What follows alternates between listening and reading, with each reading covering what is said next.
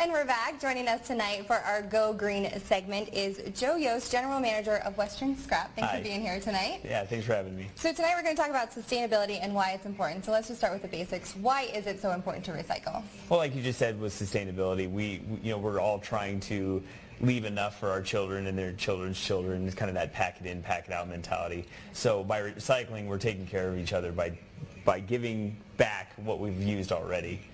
How important is it for the next generations to come that we take those steps today? Well, all of us need stuff. I mean, we can't live without stuff. We all we all have to have the cars that we drive, or the, the couches that we sit on, or even just as, as easy as the pots and pans to, to drink water with.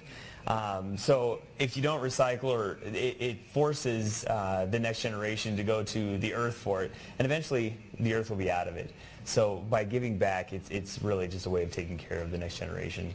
So how does recycling with Western Scrap benefit our local community? Okay, that's that's a great question. So not only not only are you giving back the materials needed to, you know, for the next generation, you're doing it with an economic benefit. So you're going to make a lot of money doing it. Um, Western Scrap has some of the highest prices and, and lowest fees for for uh, different items. And so when you recycle with Western Scrap, you're you're rest assured that you're making the most money. So you pay people to Right. recycle? Right, exactly. We pay you to do the right thing. Okay, so how can people find you? Well, you can go to the web at westernscrap.com or you can uh, just come down to our yard.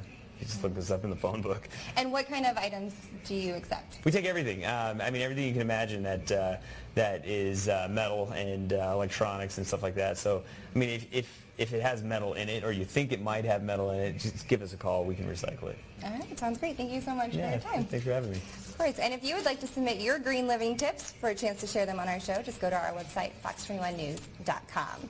Are you getting enough vitamin D? In tonight's Fox 21's Healthy Living, people with diabetes may be more likely to